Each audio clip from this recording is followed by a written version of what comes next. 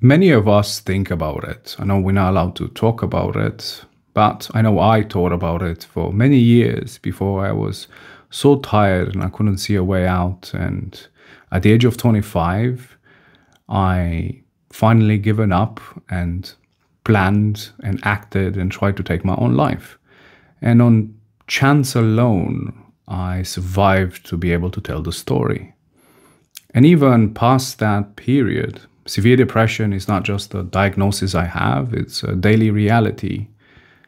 And even in those circumstances, with how much work it is, if someone would come and tell me right now that if you push this button, your depression will go away forever, I don't think I would press that button. And the best way I can explain why is using an animal analogy. I know unsurprising coming from the forest child, but for me, the world only made sense if I look at it through the lens of nature. Let's just say you want to protect the deer. You really like Bambi. So you want to remove the predators out of the ecosystem. You want to take the wolves out. Well, removing the wolves, despite of it sounding like a good idea for the deer, what it turns out is that it's extremely harmful for the deer population because the deer without the predators will reproduce at unsustainable rates. The sick and the weak that will naturally get hunted first, they are now competing for the same limited resources with a healthy deer. And with a healthy deer not getting enough resources, they'll become weaker. And with no predator in sight, they will become lazier as well. And then the genes passed on will be weaker. And as the deer population keeps growing and the sick individuals are not being dealt with, now disease starts spreading in the herd and the whole herd collapses and often the ecosystem around them. As humans, we no longer have natural predators that force us to stay fit and strong in order to survive. But no matter how many buildings and gadgets we'll build, we'll never be able to escape nature because we are nature.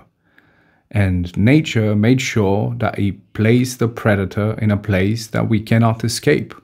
And that predator lives in us. And we have a name for it. We call it depression. And similar to the wolves, that predator first targets the weak, the sick, and the isolated. And only when I made a choice, and I mean, yes, choice, to accept this as a reality of nature, accept this as my reality, and no longer waste time and energy going with the, oh, why me? Why does this happen to me? And just accept that this is my natural predator. And its purpose is to remind me that I need to be fit and strong and connected. And in this exhausting process, it's never easy to outpace my depression. I managed to build for myself a life that I'm proud of that wouldn't even think it's possible. And that only happened because of my depression. That the same energy that was supposed to pull me back or hold me down, it's an energy that I choose to harness to push me forward they say that perception is reality, and that's how I choose to perceive this. That I, my depression is there to remind me that I can do certain things better and I can be better, and is ultimately making me a better person. And if there's one message that I will always try to push and talk about, despite of how much resistance I take, is by taking accountability and ownership of your struggles, your struggles can become your superpower. Protect your peace.